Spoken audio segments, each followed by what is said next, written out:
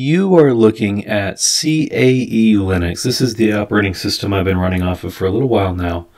CAE Linux is based on Ubuntu. Uh, I think the 2020 version is based off of Ubuntu 1804, which you can also upgrade to Ubuntu 2020. The desktop environment is XFCE, whereas Ubuntu comes uh, regularly installed with GNOME, or as I've heard some people say, GNOME. But uh, you can also install the GNOME or GNOME desktop environment and make it just like Ubuntu. So uh, let's go through making a virtual machine with CAE Linux. Now this will work for Linux, Windows, and Mac operating systems. Let's also go through making a live USB so that you can install CAE Linux onto your hard drive. So, um, why would you want to do CAE Linux as opposed to something like Ubuntu? And I'd say it's because it comes pre-installed with a bunch of really cool software. So you have FreeCAD pre-installed. You have Elmer Finite Element Analysis installed. You have Gmsh installed. You have uh, you have Saturn installed. You have Salome installed. You have all these softwares. You have OpenFOAM, and uh, you even have ParaView. Right, all this stuff comes pre-installed in um, in this distribution of Linux. So I, it really does augment the abilities of FreeCAD to be able to use some of these softwares, which I'm going to be talking about in the next video. So as of right now, let's make a virtual machine with uh, CAE Linux installed. And to do that, I have uh, this website here, caelinux.com. And caelinux.com, I can go to um, for all downloads here. It'll have a link to its SourceForge, and I can go to the files folder and see all the versions of CAE Linux. Now I'm going to go to 2020, and I use CAE Linux Lite.iso. Uh, this is a single ISO file that has the whole operating system on it, and it has it's what you're looking at, what I'm using basically.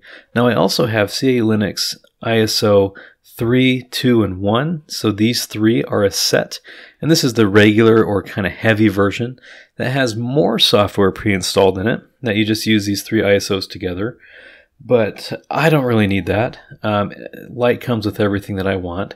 So I downloaded um, CAE Linux 2020 Lite. Now if I go back and we come over here, uh, let's see, we're looking at CAE Linux 2020. So you can read um, some of the pre-installed software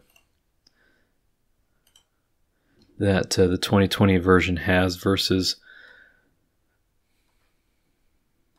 there we go the 2020 versus the Lite version so uh, again, I recommend the Lite. I think it's quick, simple, and easy. So once you have that uh, ISO file downloaded, I'm going to open up VirtualBox. I'm assuming that you have some experience with VirtualBox. If not, I have a video where I actually do install VirtualBox into Linux, and it's just as simple to do into Windows. Um, it'll work in Apple products. I just haven't used an Apple product in nearly two decades. Now, let's make a new operating system and we'll call it CAE Linux. I'm making a virtual box of CAE Linux in CAE Linux, but I think it's good to uh, to demonstrate the stuff sometimes. Uh, since it's based on Ubuntu, I've had great luck calling it 64-bit Ubuntu, and we'll give it uh, a memory size that'll probably work for me. We'll create a hard disk. We'll make sure that it's dynamically allocated and uh, we'll give it a little bit more since it's kind of a large operating system. Great, so we have about 54 gigabytes of CAE Linux. Now, as I and I can also adjust the settings on this if I wish. Um, so if we go to advanced, we can make you know these things bidirectional. This is to so that I can copy and paste to and from my host operating system into my VirtualBox, and I can drag and drop things into and out of my VirtualBox. I can go to system and I can, you know, give it a little bit more processor and everything else looks pretty good.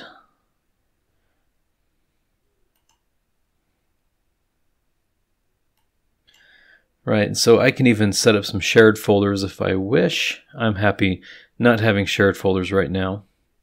So we're going to say OK to that. Now when we go to turn this on, it's going to ask us where is the operating system that we want to uh, use. So you can click on this to choose the ISO file that you just downloaded.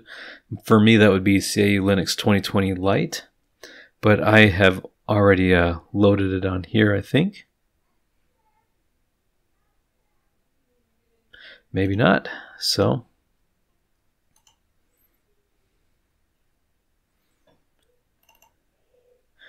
So I choose CAE Linux 2020 Lite. We'll choose that. And we'll start. So now we're booting into the ISO file and we'll get ready to install it here.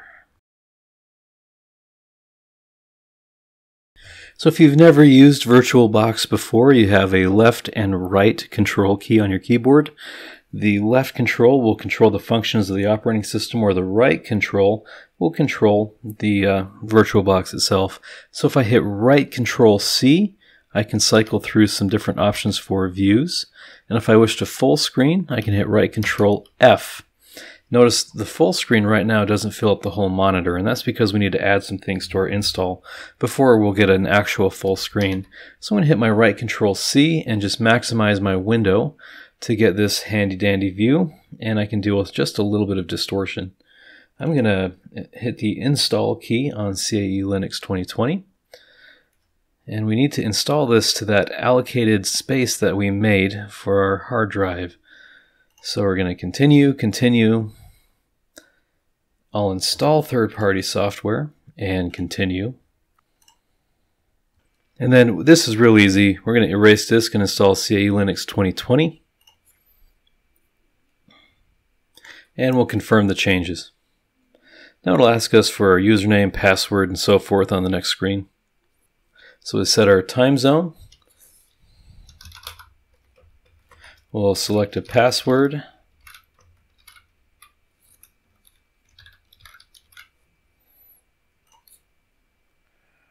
And uh, this might be a longer install than you're used to if you do a lot of VirtualBox OSs like I do. Uh, I like to you know explore and try out different operating systems. So this one installs a little bit longer just because it's packed with so much useful software. So be patient and let this thing install.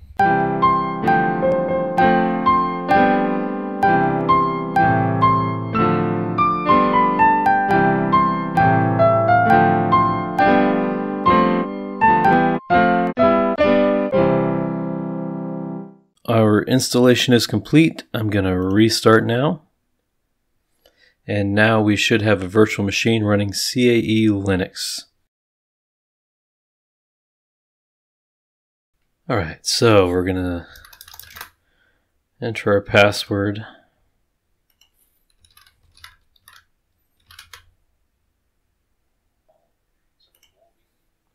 I'm not going to upgrade right now.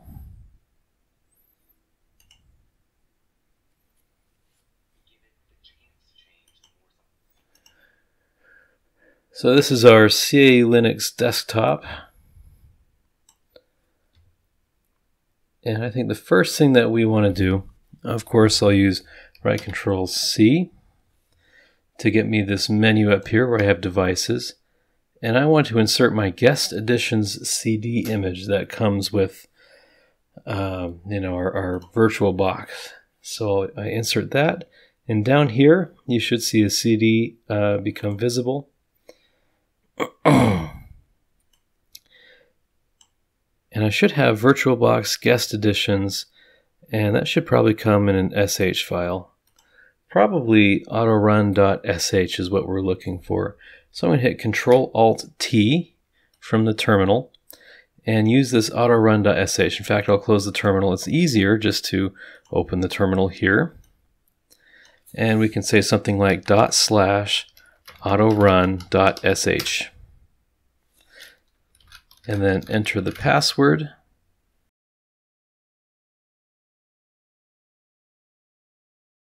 So it looks like we're all installed. We're going to hit enter. And what that does is, uh, among other things, allows us to full screen our VirtualBox, right? Uh, so if I hit right control F, You can see right now we're not full screen, we have all this black space. And so when we restart our VirtualBox guest additions that we just installed, should kick in and give us a uh, full screen. So I'm restarting my VirtualBox now. Let's just make sure that it's full screened.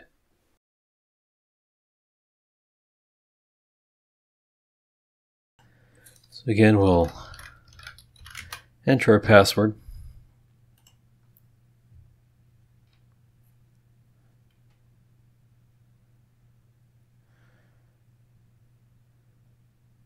As we log in here now, you can see we're still in full screen mode. The bar is going all the way across the top and we have a nice scaled full screen just as it should and was meant to appear. So that's the guest uh, additions that we've installed in action to have a nice full screen. Let's jump over and uh, cover making a live USB if you want to install this to your hard drive. So I'm not very good with tar.gz files that Linux has in it yet. Um, I'm still learning stuff, so I found this process easier in Windows. I'm going to demonstrate this in Windows. Uh, so this is Ventoy, and this is uh, what we would use to get CAE Linux to be on a live USB drive and able to be installed onto a computer hard drive. I think one of the fun, interesting things about this is it's actually the best live USB software I've ever used. I've, I was a UNetbootin man and thought that that was just the bee's knees. And then when I tried Ventoy, I at first was annoyed that I couldn't use UNetbootin, even though it, it probably would work with the CA Linux. But um, I tried it with Ventoy, and man, I, I really love Ventoy now. Uh, so I just go to downloads, and then I'm using Windows, right? So you click on Windows, it forwards you to the releases in GitHub and I've downloaded Ventoy for Windows.zip. So here I have downloaded uh, this, right? It's in my zip file. So let's unzip this.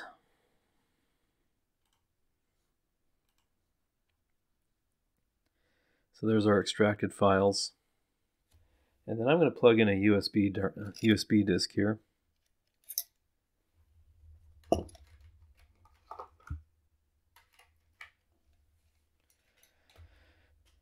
Now, any USB disk that you and that you use, which in my case is the G drive.